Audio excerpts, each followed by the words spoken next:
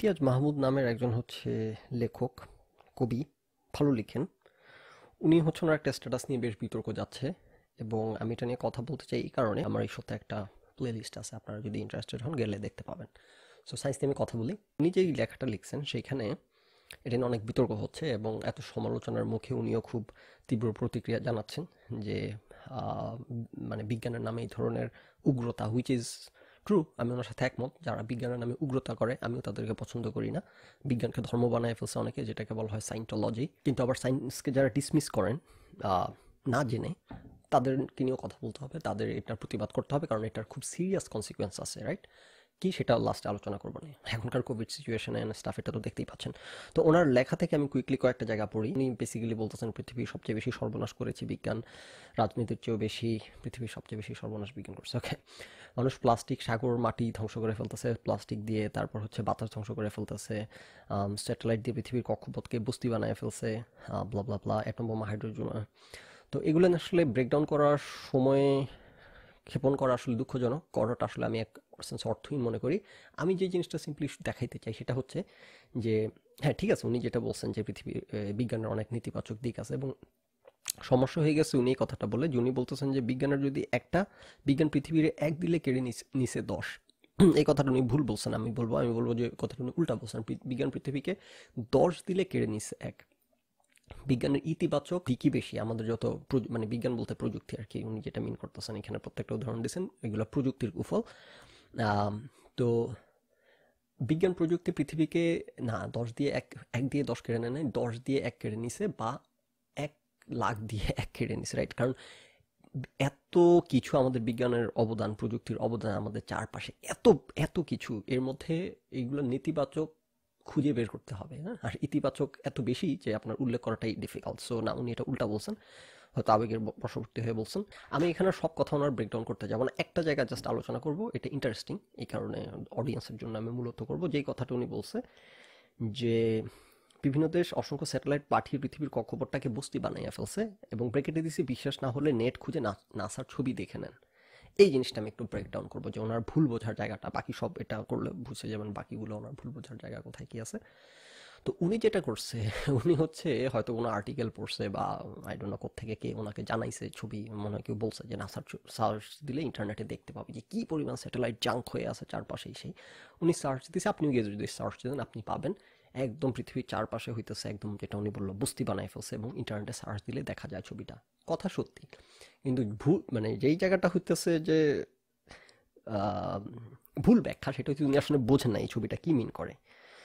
এটা আমি এখন বোঝানোর জন্য বসছি এখানে যে, আপনি ছবিটা দেখলে ঠিক আছে, দেখে মনে হয় খুব বস্তি, কিন্তু এটা কিন্তু বাস্তবতা পিকচারাইজ করতেছে না। দেখেন, আপনাকে যে জিনিসগুলো বুঝতে হবে যে বিজ্ঞানীরা ঘাস খায়, পৃথিবীটা চলতেছে, এত বড় পৃথিবীতে এত সূক্ষ্মভাবে, এত সঠিকভাবে এখন মঙ্গল গ্রহে পর্যন্ত বিজ্ঞানীরা ইয়ে পাঠাইছে স্পেস শাটল শিপ পাঠাইছে এবং মঙ্গল গ্রহে রোভার পাঠাইছে এই মুহূর্তে। গতকালকেই হেলিকপ্টার উড়াইলো মঙ্গল গ্রহে পৃথিবীর এবং এই ঘটনাটাকে তুলনা করা হচ্ছে পৃথিবীতে যখন এয়ারপ্লেন আবিষ্কার করা হয়েছিল রাইট ব্রাদার্স নাইনটিন ফাইভে উনিশশো পাঁচ আর কি নাইনটিন হান্ড্রেড ফাইভে যখন করা হয়েছিল এরকম একটা গ্রাউন্ড ব্রেকিং একটা হিস্টোরিক ঘটনা আর কি যে নাসাতে ইয়ে উড়াইতে সক্ষম হয়েছে বিজ্ঞানীরা হেলিকপ্টার এটা তো আলোচিত কেন নাসাতে? কারণ নাসার হইতেছে অ্যাটমসফিয়ার খুবই পাতলা। হেলিকপ্টার উড়ানোর জন্য যে বাতাসটা দরকার, যে ঘন পুরো আবহাওয়া দরকার, বায়ুমণ্ডল আবহাওয়া বলতেছি, সেই পুরো বায়ুমণ্ডল নাই দেখে এটা খুবই ডিফিকাল্ট এবং চ্যালেঞ্জিং এবং এটা কমিউনিকেট করছে পৃথিবী থেকে।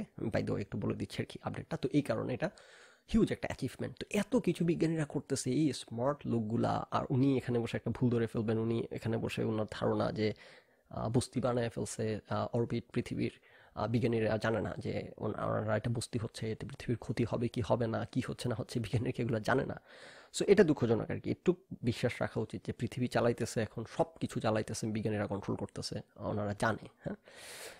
তো ভুল ধারণাটা ভাঙানোর জন্য একটা উদাহরণ। এই যে উনি যে ছবিটা বলল যে ছবিটা দেখাচ্ছে, যেটা আপনিও গুগলে গিয়ে সার্চ করলে পাবেন, কিন্তু ছবিটা কি মিন করে? এটা যেটা আমি দেখাইতে বসছি, যে কিছু ডেটা দেখাবো। যে ছবিটা দেখে এখানে যেটা ভুল বোঝার জায়গা, সেটা হচ্ছে, আপনি যদি পৃথিবীটাকে একটু আঁকেন, এবং এটা চারপাশে যদি এরকম জাঙ্ক দিয়ে রাখেন হ্যাঁ একেবারে হাজার হাজার স্যাটেলাইট হ্যাঁ তাহলে এটা এরকমই দেখাবে, কিন্তু এটা বাস্তবতাটা আসলে এরকম না হ্যাঁ। এখন হইতেছে স্যাটেলাইট পৃথিবীর চারপাশে প্রায় পাঁচ হাজারের মতো আছে।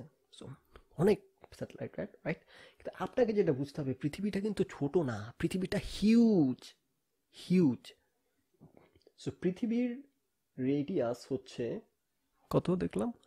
প্রায় সাত হাজার কিলোমিটারের মতো রাইট প্রায় সাত হাজার কিলোমিটারের মতো হচ্ছে পৃথিবীর রেডিয়াস আর স্যাটেলাইটগুলো আছে হইতেছে একটা নির্দিষ্ট রেঞ্জের মধ্যে। ধরেন যে এই যে একটু জায়গার মধ্যে স্যাটেলাইটগুলো আছে, নির্দিষ্ট একটা কক্ষপথ না, কিন্তু একটা রেঞ্জের মধ্যে, একটা ভলিউমের মধ্যে রাইট এটা থ্রি ডাইমেনশনাল একটা ভলিউমের মধ্যে। এবং এই দূরত্বটা হচ্ছে যে শুরু হয়েছে এটা লাইক ফ্রম এখানে বোধহয় হচ্ছে কত? বিশ হাজার কিলোমিটার মতো?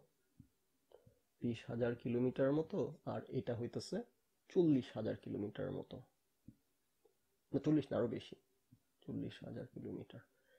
রাফলি চল্লিশ হাজার বোধ হয় এভার সো লেটস রাফলি ত্রিশ হাজার লেটস সো স্যাটেলাইটগুলো রাফলি ধরেন ত্রিশ হাজার কিলোমিটার উপরে আছে। সো এই আপনার পৃথিবীর অরবিটের সাথে যদি আপনি যোগ করেন এটা, তাহলে টোটাল দাঁড়াইতেছে, ও আচ্ছা টোটাল দাঁড়াইতেছে প্রায় চল্লিশ হাজার কিলোমিটার মতো। সো বেসিক্যালি স্যাটেলাইটগুলো রাফলি কত?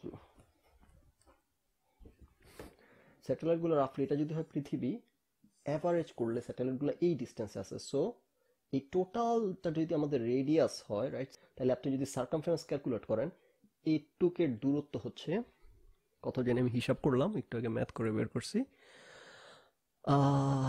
দুই লাখ কিলোমিটার মতো প্রায়। সো আপনি এখান থেকে ঘুরে এখান পর্যন্ত আসতে, এই ডিস্টেন্সটা হচ্ছে প্রায় দুই লক্ষ কিলোমিটার। আরও বেশি জাস্ট রাফলি স্পিকিং এবং এটা একটা থ্রি আমি এখানে টু ডাইমেনশনালি দেখাইতেছি। থ্রি ডাইমেনশনালি দেখাইলে এই কেমনে বুঝাবো? এটা একটা ছবি দেখাবো, এখন একটা ম্যাপ তাইলে বুঝাতে পারব। আরও ছড়াই ছিটিয়ে থাকবে। বেসিক্যালি যে কথা বেসিক্যালি কথা হচ্ছে আপনি ছবিতে যে এরকম যেটা দেখতেছেন, সব ঘন হয়ে আছে, ব্যাপারটা তা না। পৃথিবীটা হিউজ এবং স্যাটেলাইটগুলো পৃথিবী থেকে অনেক উপরে, হাজার হাজার মাইল উপরে। সেইখানে যদি পাঁচ হাজার স্যাটেলাইট ছড়ায় ছিটিয়ে থাকে, আপনি ছবি যেরকম দেখে ভাবতেছেন, বস্তি হয়ে আছে, ধাক্কা লাগতেছে একটা, তার একটা ব্যাপারটা তা না। এটা একটা একটা থেকে অনেক দূরে। এবং আপনারা ছবিটা দেখতেছেন টু ডাইমেনশনাল থ্রি ডাইমেনশনাল করলে তারা যখন থ্রি ডাইমেনশনাল স্পেসে স্পেসড হবে স্যাটেলাইটগুলো তখন এই ডিস্টেন্সটা আরও অনেক বেশি রাইট সেটা আমি এখন আপনাদেরকে ধারণা দেওয়ার জন্য দেখাই। এখানে একটা ওয়েবসাইট আছে, এখানে গেলে আপনি সকল স্যাটেলাইট ট্র্যাক করতে পারবেন লাইভ হ্যাঁ? লাইভ ট্র্যাক করতে পারবেন যে স্যাটেলাইট যে নড়াচড়া করতেছে। সো আমরা এখন সেটা করব। এই যে দেখেন, যেটা বললাম ছবিতে, অনেকগুলো স্যাটেলাইট ঘন হয়ে আছে রাইট এটা হইতেছে আপনি দূর থেকে দেখতেছেন বিধায় এবং আরও ইন্টারেস্টিং ব্যাপার হচ্ছে প্রত্যেকটা স্যাটেলাইটের সাইজ কিন্তু একই সাইজ না ইভেন দশ ইঞ্চি সাইজের স্যাটেলাইটও আছে। যে আমি বললাম পাঁচ হাজার স্যাটেলাইট এখানে আছে, এখানে প্রত্যেকটা ডট রেপ্রেজেন্টস ওয়ান স্যাটেলাইট এবং একটা, প্রত্যেকটা ডট কিন্তু সমান সাইজ করে দেখানো হচ্ছে এখানে। তার মানে এই না যে প্রত্যেকটা স্যাটেলাইটের সাইজ হইতেছে লাইক একটা বাসের সমান। ব্যাপারটা তা না। এখানে দশ ইঞ্চি সাইজের স্যাটেলাইটও আছে, একটা প্রাইভেট কারের সমান সাইজের স্যাটেলাইটও আছে। সো এই ডিটেলসগুলো আপনি না জানলে শুধু এই ছবির দিকে তাকায় যদি আপনি ভাবেন যে, ওরে বাবা, না না না রাইট এখন আমরা যদি জুম ইন করি স্যাটেলাইটটা একদম কাছের দিকে যাই, এই যে তাইলে এবার দেখেন যেটা বলতেছিলাম থ্রি ডাইমেনশনাল স্পেস আমরা যখন টু ডাইমেনশনাল থেকে থ্রি ডাইমেনশনাল ইয়েতে ঢুকবো, তখন আপনি দেখেন যে এরা কিন্তু হরাইজেন্টালি এবং ভার্টিক্যালি মানে ল্যাটিটিউডিনালি ল্যাটিটিউডিনালি এবং লঞ্জিটিউডিনালি স্পেসড সো বেসিক্যালি মানে দুইটা স্যাটেলাইট যখন দূরে আছে, এখানে এখানে একটা স্যাটেলাইট আছে, এখানে একটা স্যাটেলাইট আছে আর একটা স্যাটেলাইট এদিকে আর একটা স্যাটেলাইট এদিকে মানে একটা ফুটবলের মতো ভলিউম চিন্তা করেন আর কি। সো চারপাশে স্পেস রাইট সো আমরা যখন আরও কাছাকাছি যাই পৃথিবীর আরও যাইতে থাকি আমরা, যাইতেছি যাইতেছি, এবার দেখেন, প্রত্যেকটা স্যাটেলাইট কিন্তু মুভিং রিয়েল টাইম আপনি দেখতে পাবেন এখানে, এই যে দেখেন স্যাটেলাইটগুলো নড়তেছে রাইট যাচ্ছে বিভিন্ন দিকে। সো আমরা যত কাছে আসতেছি, তত দেখতে পাচ্ছি আসলে স্যাটেলাইটগুলো এত কাছাকাছিও না যতটা দেখা যাচ্ছে। এবং এটা কিন্তু, এটাও কিন্তু আপনার মিসলিডিং আপনি এখানে যে ডটের সাইজ দেখানো হচ্ছে, আপনি দেখে ভাবতে পারেন যে এত বড় স্যাটেলাইট দুইটা স্যাটেলাইটের সাইজ এত বড় বড় এবং এরা এই দূরত্ব অবস্থিত মানে হইতেছে এই দূরত্বটার মাঝখানে হইতেছে এই সাইজের হয়তো ধরেন পঞ্চাশটা স্যাটেলাইট বসানো যাবে। আসলে কিন্তু পঞ্চাশটা না ডটটা অনেক বড় করে দেখানো হচ্ছে। আসলে এখানে পাঁচ লাখ স্যাটেলাইট বসানো, পাঁচ কোটি স্যাটেলাইট বসানো যাবে রাইট সো এই ডটগুলো দেখে মনে হচ্ছে কতগুলো ডট জায়গার মধ্যে আসলে বাস্তবতাটা থা না। জায়গা আরও কাছাকাছি যাই, এই বেশি চলে গেছি। এই যে মনে করেন আরও যখন পৃথিবীর কাছে আসলাম, দেখেন এখন কিন্তু অলমোস্ট ক্যামেরার মধ্যে, আমাদের স্ক্রিনের মধ্যে স্যাটেলাইট দেখা যাচ্ছে না জাস্ট দুই তিনটা দেখা যাচ্ছে। কিন্তু আমরা স্ক্রিনে যতটুক এরিয়া দেখতে পাচ্ছি, এটা কিন্তু ছোট এরিয়া না, এখানে প্রায় লাইক একটা মহাদেশের সমান প্রায়। মহাদেশ হবে না আরও ছোটো হবে। এখানে অনেকগুলো দেশ লাইক সো এই যে দেখেন মানে আমি যদি এখন বাংলাদেশের উপরে চলে যাই আপনি একটা স্যাটেলাইটও দেখতে পাবেন না। কারণ বাংলাদেশের সাইজ প্রত্যেকটা অ্যাভারেজ আমি মনে হয় দেখলাম গুগলে অ্যাভারেজ হইতেছে স্যাটেলাইটগুলোর ডিস্টেন্স হচ্ছে পাঁচশো কিলোমিটার মতো। ইভেন আরও বেশি হয়তো বা হবে পাঁচশো কিলোমিটার। সো বাংলাদেশেই হইতেছে এক হাজার কিলোমিটার এই মাথা থেকে ওই মাথা। সো আহ, কথা হচ্ছে যে আমি যেটা বলতে চাচ্ছি যে শুধু ছবি দেখে এটা বোঝা যাবে না কি হইতেছে, এখানে what's going on what's happening এখানে যে বস্তির মতো দেখা যাচ্ছে ব্যাপারটা তা না। যে সাইজ দেখা যাচ্ছে ডটগুলো স্যাটেলাইটগুলো ওই সাইজের না লাইক অ্যাগেন দশ ইঞ্চি সাইজের সাইজের সাইজের স্যাটেলাইটও আছে, বড় সাইজের স্যাটেলাইটও আছে, সবগুলাই একই সমান ডট দিয়ে দেখানো হচ্ছে। এবং এটা একটা টু ডাইমেনশনাল পিকচার এবং এটা হচ্ছে যে শুধু এটার দিকে তাকালে কিছুই বোঝা যাবে না হ্যাঁ? এটা এটা এটা মিসলিডিং সো এটা আর কি বলতে চাচ্ছি যে, ধরেন, এই জিনিসগুলো তো আপনি তো না জানলে তো আপনি বুঝবেন না রাইট আপনি যদি খালি একটা ছবি দেখে যে আপনারা যাই না যে এই কথা বুঝাইছে যিনি উনি যার কাছে শুনে উনি কি এখন এইটা হচ্ছে দুঃখের ব্যাপার। আপনি কার কাছ থেকে নলেজ নিচ্ছেন? আপনি যার কাছ থেকে জানতেছেন, যার কাছ থেকে শুনতেছেন, উনি কি খুব নলেজেবল স্মার্ট কেউ? সেটা না হলে তো বিপদ। নাও যেই কারণে ওনাদেরকে ডিবাঙ্ক করতে হয় এই ধরনের কথাবার্তাকে, সেটা হচ্ছে যে দেখেন এখন কোভিড সিচুয়েশনটাকে এগুলো রিয়েল কনসিকুয়েন্স আছে। এই কনস্পিরেসি থিওরি সায়েন্সকে ভুয়া মানে সায়েন্স ভুয়া। হ্যাঁ সায়েন্স ভুয়া, সায়েন্স ধ্বংস করে দিচ্ছে পৃথিবী, সায়েন্স ফালতু এই কথাবার্তাগুলো বলে কারা? যারা সায়েন্স করে তারা? না, যারা সায়েন্স সম্পর্কে ন্যূনতম ধারণা রাখে না, তারা। এখন ওনারা এই কথাগুলো বলে কি হয়? যাদের অনেক বড় ফলোয়িং ফলোয়িং থাকে, যে এখন কাজী ইব্রাহিমরা হুজুররা মিলে এই কথাবার্তা বলে এখন কেউ ভ্যাকসিন নেবে না। সারা পৃথিবীতেই অ্যান্টি ভ্যাকসিন একটা হিউজ ক্যাম্পেইন আছে। এরা হচ্ছে ভ্যাকসিন হেজিটেন্সির কারণে এরা নিবে না এবং আমি আগে আলাপ করছি ডাব্লিউএইচও ওরা হইতেছে পৃথিবীতে ভ্যাকসিন নেওয়ার পথে সবচেয়ে বড় বাধা হিসেবে আইডেন্টিফাই করছে এই ভ্যাকসিন হেজিটেন্সিকে যে মানুষ ভ্যাকসিন নিতে চায় না, ভয় পায়। কেন ভয় পায়? এই কনস্পিরেসি থিওরি ট্রাম্প সাপোর্টাররা ট্রাম্প বলে বেড়ায়। হ্যাঁ ভ্যাকসিন এই সেই আমাদের হুজুরা বলে বেড়ায় ভ্যাকসিনের মধ্যে স্লিপিং সেল আছে, এগুলা ইহুদি বানায়। তো আজকে আমি কথা বলতেছিলাম আমার এক নেবারের সাথে, সেও হইতেছে এই টাইপের আর কি। সে আমাকে একদিন বলতেছিল যে, মেক্সিকো থেকে কেন গরুর গোস্ত তো আসে? সেই গরুর গোস্তের মধ্যে করে কি দেওয়া হয়? এগুলো খাইলে মানুষকে আর মানুষ থাকতেছে? কি উদ্ভট কথাবার্তা? একটু আগে খবরে পড়লাম যে, এক এক লোক সেখানকার আমেরিকার বড় স্টার আর কি ওনার মতো আর কি অনেক ফলোইং উল্টাপাল্টা কথা বলে বেড়ায়। তো ওই লোক বলে বেড়াইতেছে কোভিড ভ্যাকসিন ভুয়া কি? কোভিড ভুয়া? কোভিড এগুলো কনস্পিরেসি এই না সে না ওই লোকের কোভিড হয়ে বসছে এখন ওই লোকের জীবন যায় যায় দশা এখন ওই লোক আরও গরম। যেটা কী রোগ হইল, আমি বাঁচতেছি না, অবস্থা খারাপ হালুয়া টাইট কত কয়েকদিন ধরে আমি বেড থেকে নড়তে চড়তে পারতেছি না। সো এগুলোর কনসিকুয়েন্স আছে রাইট এই যে পৃথিবীতে আপনি সচেতন করবেন কি? আপনি প্রথমত যেটা বললাম ডাব্লিউএইচও যেটা বলছে যে ভ্যাকসিন হেজিটেন্সি হচ্ছে পৃথিবীর সবচেয়ে বড় ইস্যু কোভিড ফাইট করার জন্য, যে মানুষ ভ্যাকসিন নিতে চায় না বিশ্বাস করে না সায়েন্সকে বিশ্বাস করে না। কেন করে না? যে এইসব কথাবার্তার জন্য। এখন যারা এইসব কথাবার্তা ছড়ায়, তারা কি জানে, বোঝে কিছু? জেনে বুঝে বলতেছে? যারা জানে, বুঝে, তারা তো এইসব কথা বলে না। যারা জানে বুঝে তারা এইসব উদ্ভট কথা বলবে না। সো এই কারণে এগুলা ডিবাঙ্ক করাটা খুব ইম্পর্টেন্ট কারণ এগুলার রিয়েল কনসিকুয়েন্স আছে রিয়েল লাইফে কনসিকুয়েন্স আছে এগুলার মানুষ এগুলোর কারণে সাফার করে।